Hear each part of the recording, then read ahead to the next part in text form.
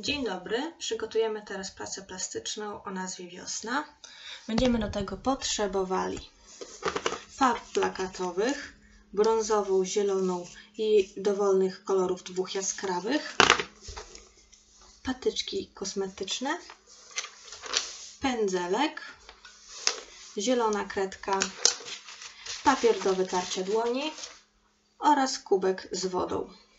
Rozpoczynamy poprzez pokrycie dłoni dziecka brązową farbą.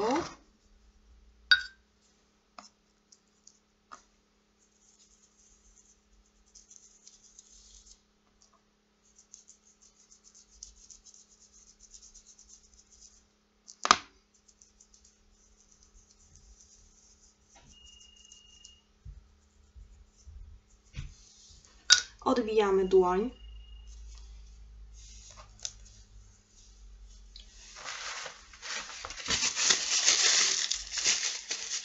Mamy teraz przygotowane nasze drzewo.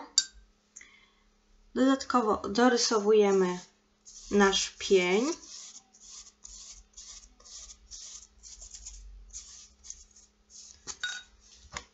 Po czym zaczynamy, bierzemy nasz, nasze patyczki kosmetyczne i rysujemy liście. Namoczymy nasz patyczek higieniczny i zaczynamy odbijać kropki, tworząc liście.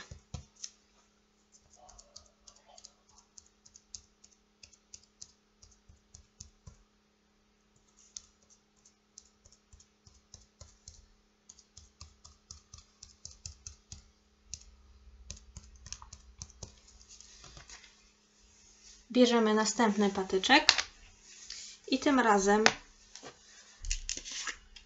tworzymy kwiaty na naszym drzewie inną jaskrawą farbą.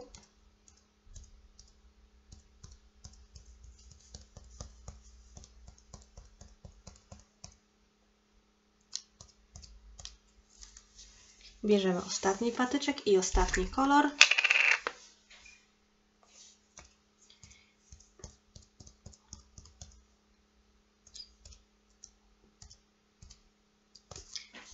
Następnie zostaje nam tylko dorysowanie trawy zieloną kredką.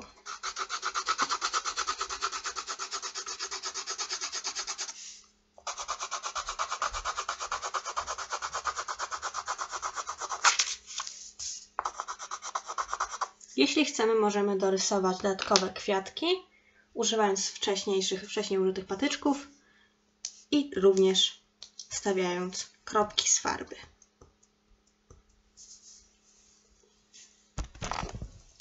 Mamy teraz gotową pracę plastyczną. Wiosna. Kwitnące drzewo.